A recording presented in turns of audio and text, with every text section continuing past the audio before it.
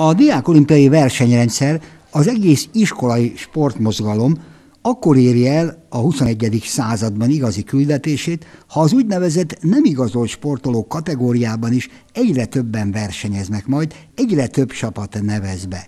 Túl azon, hogy a sportági legjobbak utánpotlás szinten az országos bajnokság mellett a diákolimpiai szinten is rangos megmérettetésben vesznek részt az igazolt sportolók között. Sokszor előfordul, hogy az országos bajnoki döntő visszavágója is egyben a diákolimpia egy-egy sportágban, ami a helyi és az országos nyilvánosságban is reflektorfénybe kerül. De a sportpolitikában a mai viszonyok közepette az előbbi a nem igazoltaknak a lehetőségek megteremtése a prioritás. Hát nekünk a diáksportban a leg, az elsődleges feladatunk, hogy a nem igazolt sportolóknak is lehetőséget biztosítsunk. Tehát nekünk a diáksportnak a szabadidős sportját kell erősíteni, tényleg az utánpótlás bázisnak a szélesítése, a tömegbázis szélesítése kvázi a feladatunk.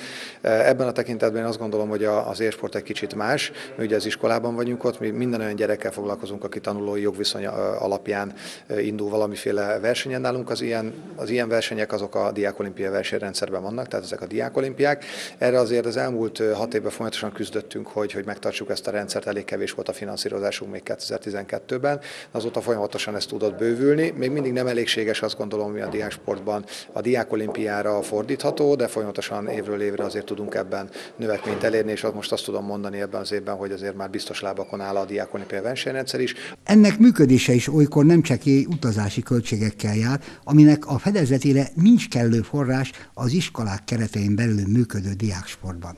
Tolna megyében, hogyha valaki nyer egy, egy megyei versenyt, egy, orsz, egy megyei döntőt, akkor eljut az országos döntő, és az mondjuk Fejér megyében vagy, vagy inkább Borsod megyében van az a döntő, akkor annak el kell utazni, annak a gyereknek szállást kell biztosítani, és étkezést is kell biztosítani. Ezek a források még jelen pillanatban nincsenek benne a rendszerben, ezt mindenképpen valahogyan pótolni kell, de maga a versenyszervezési költségek ezek, ezek rendelkezésre állnak. És nekünk a diásportban még a feladatunk az, hogy, hogy olyan színes programokat kínáljunk, nem csak évente egyszer, egyszer, hanem mondjuk rendszeresen olyan programokat, amiben a gyerekek valójában multisport jelleggel minél többfajta mozgásformát formát gyakorolhatnak, próbálnak ki, mert mi azt gondoljuk, én magam is az ötusázást kb. a 7.-8. sport tortág volt az életemben, én azt gondolom, hogy minél több sportot próbál ki egy, egy fiatal, ha élsportoló lesz belőle, akkor abból csak hamatozni fog, hogy előtte már több mozgásformát kipróbált. Ha meg valaki csak a szabadidősportot szeretné folytatni, akkor meg akkor is neki ez egy jó dolog lesz, mert 6-8 sportágból vagy mozgásformából talán már ki tudja választani, azt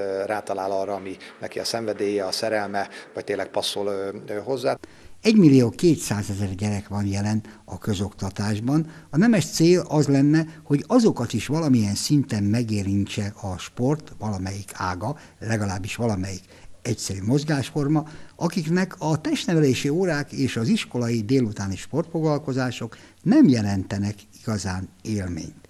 Ehhez pedig a kínálati palettát kell mindenképpen belátható időn belül gyorsan bővíteni a vidéki kistelepüléseken is.